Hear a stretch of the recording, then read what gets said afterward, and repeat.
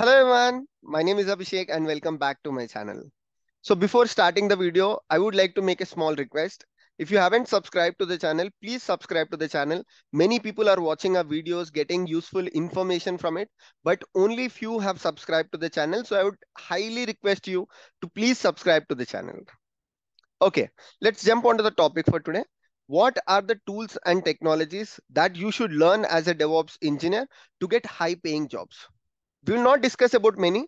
I'll give you top five tools that are trending in the market and you should definitely learn these five tools and technologies at this point of time as per the current trend to get high paying jobs in DevOps.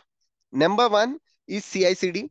No matter which CI/CD tools that you are using. It can be Jenkins, it can be GitHub Actions, GitLab, but you should be very familiar with one CI/CD tool, preferably Jenkins, because Jenkins has more number of job opportunities at this point of time.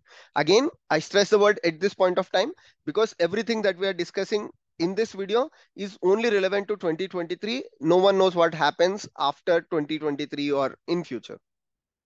Number two is containers and Kubernetes. So again, it can be Docker and it can be Kubernetes, preferably Kubernetes. Uh, it does not matter if you understand the concept of containers using Docker or any other platform, but Kubernetes is the one that you should definitely have good understanding. By good understanding, I mean not just deploying your application, taking a deploy.yaml file and deploying as a container or pod in your Kubernetes cluster, but you should have detailed or you know you should have good understanding of kubernetes.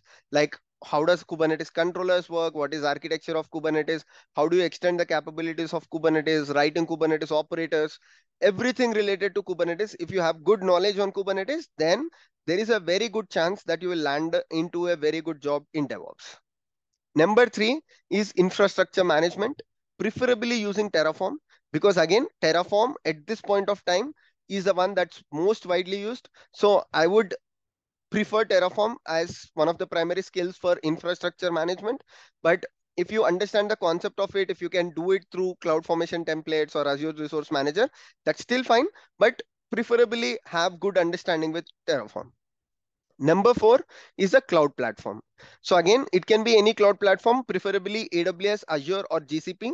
And if you look at the market or if you look at the uh, market stake, AWS has the uh, most number of uh, jobs or more number of people are using AWS. So if you are starting with DevOps right now, uh, or if you are starting with cloud platform, then go with AWS so that again, you get an opportunity with high package.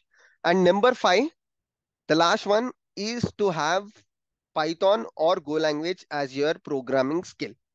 So many people have this question again, as a DevOps engineer, should I have coding skills? Is coding skill required? Do I need to learn programming? Yes, definitely you should have knowledge with scripting and programming. If you want to become a DevOps engineer, you might not require knowledge of programming that much.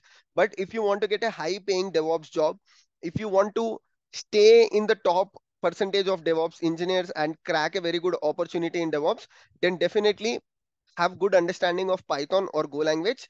I'm going to make a controversial statement here. If you want to get high paying DevOps job, Golang is the one that's much preferred than Python.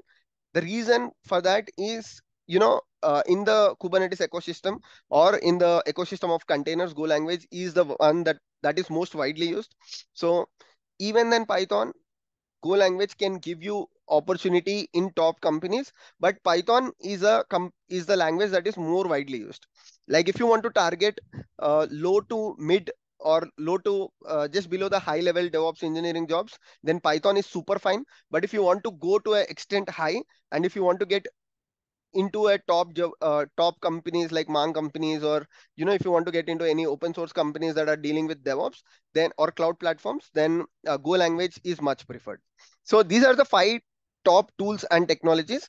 And uh, one more thing is when we talk about Kubernetes, I just want to repeat it one more time, is not just understanding deployments in Kubernetes, but you need to know how applications are managed in Kubernetes. For example, GitOps.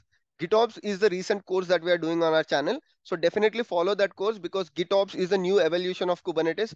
People are using GitOps technologies, GitOps tools to deploy applications onto Kubernetes, manage their infrastructure, the Kubernetes infrastructure especially. So GitOps is the one that you should definitely understand in the Kubernetes ecosystem. And apart from that, keep an eye on CNCF. What are the tools that uh, CNCF is onboarding? What are the tools that are sandboxed in CNCF? So that way you can keep yourself up to date with containers and the container orchestration platforms like Kubernetes. So if you have any questions, definitely put that in the comment section and I'll reply to each and every comment. And if you want to book a session with me, then I'm available on TopMate. You can find the link for my GitOps playlist as well as TopMate for one-on-one -on -one sessions in the description. Thank you so much for watching the video. I'll keep doing more such insightful videos and the video on GitOps, the part two or the episode two is going to come tomorrow. Stay tuned. Take care, everyone. Bye.